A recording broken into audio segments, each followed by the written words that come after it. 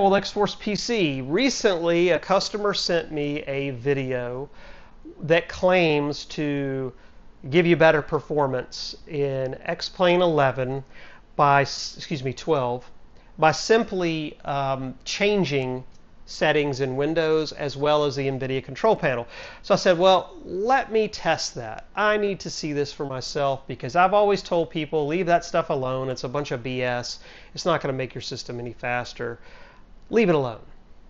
So uh, the test system I grabbed, uh, it, it, was one I just built. It was a 7900X3D Ryzen chip with a 4080 Super, so a pretty high-end system I tested it with.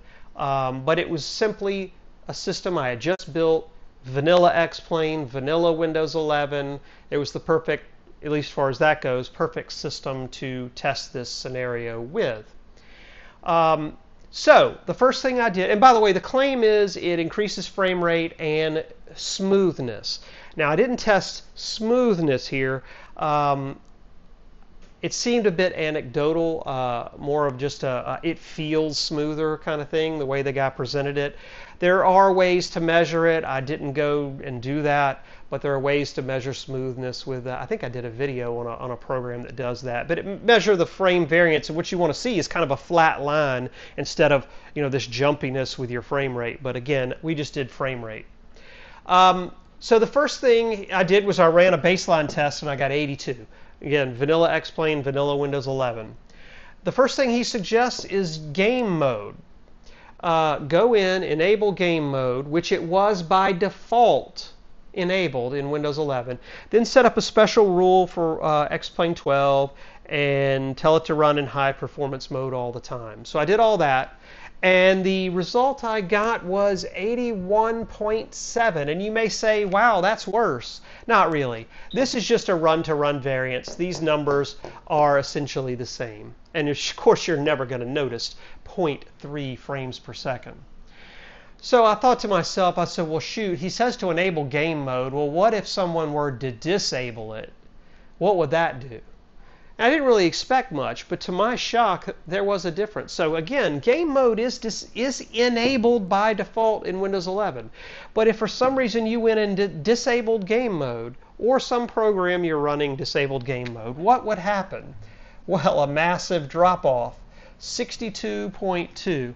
And you know, I probably need to look up what game mode does, but I think essentially what it does is when you're running a game, it tells Windows hey, stop doing everything else you're doing and concentrate on running this game. All your resources just focus on this game that we're running.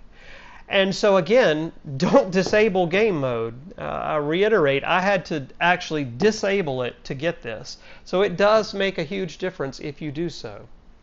Now, the next thing he suggested, or it wasn't the next thing, but the next thing I did, was to disable high performance event timer in the device manager.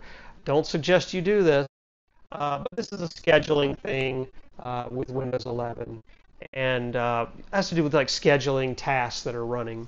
And so, what did I get when I disabled that? Uh, let's see, I got 82.4. So 82, 82.4, insignificant, probably just a run-to-run variance.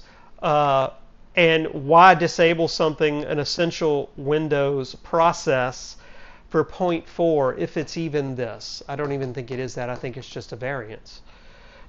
The last thing of all that he or that I did, that was the second to the last thing he suggested, was to disable Bluetooth. Yes, he said to disable Bluetooth in the device manager and you get more performance and smoothness. So I did that. Uh, and what did I get? 81.4. Can't write all of a sudden. 81.4. Again, not statistically significant. The only one that's st- statistically significant is this one. The rest are just run to run variants. So, uh, yeah, shocker, shocker, disabling Bluetooth in the device manager made no difference. So, what do we take away from this? Leave everything alone and just make sure you haven't disabled game mode.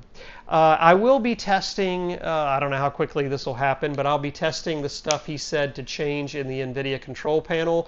I'm curious about that as well. I've heard people say, swear that, you know, make these changes and you get more performance. I've never been able to replicate it. and I'm going to do it. Um, I haven't. I tried a few years ago and found it to make no difference, but I'm going to give it another try. So look for that coming soon.